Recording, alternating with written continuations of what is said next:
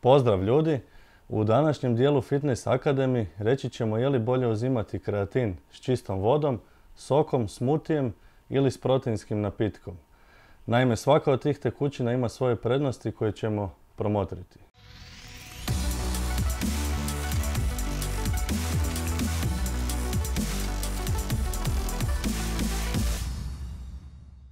Dakako, najjednostavniji i najugodniji način uzimanja kreatina je njegovo miješanje s vodom.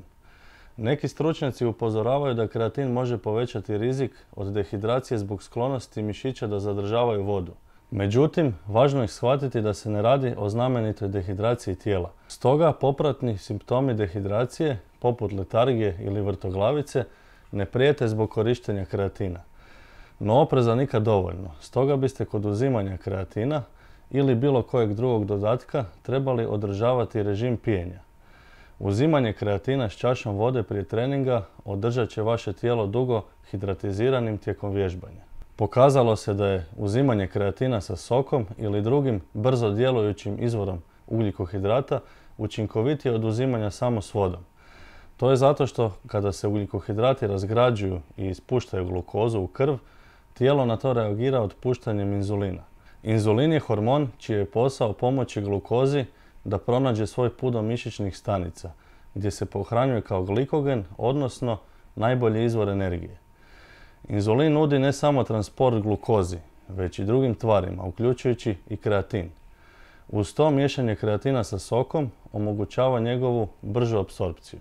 Suprotno tome, nedostatak uzimanja kreatina sa sokom umjesto s vodom može biti taj što ćete unijeti više kalorija. Stoga rješenje mogu biti 100% sokovi, na primjer od povrća, poput repe ili rajčice, koji ne sadrže dodatne šećere i tako imaju puno manje kalorija. Uzimanje kreatina sa 100% sokom i smutijem tako može biti izvrstan način da prije vježbanja unesete u svoje tijelo važne hranjive tvari, vitamine i minerale. Neki vole kombinirati svoje suplemente prije i nakon treninga. A što je s kreatinom i proteinima? Jedno istraživanje je otkrilo da sudionici koji uzimaju protein sirutke zajedno s kreatinom nisu imali više pozitivnih učinaka tijekom treninga u usporedbi s odvojenim uzimanjem tih dodataka. To znači da kombinacija kreatina i proteina ne povećava njegove učinke i obrnuto. Protein neće povećati učinke kreatina.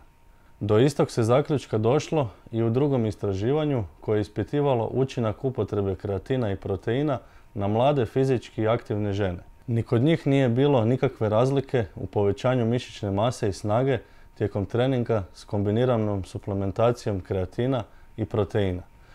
Dakle, ako uzimate kreatin i protein odvojeno ili zajedno, dobit ćete iste rezultate. Istodobno, nije dokazano da je zajednička upotreba kreatina i proteina izazvala bilo kakve negativne učinke. Stoga je njihovo kombiniranje u redu. Čvrsto smo uvjereni da smo vam razjasnili sve potrebno o uzimanju kreatina s raznim vrstama tekućine. A s čime vi najradije uzimate kreatin?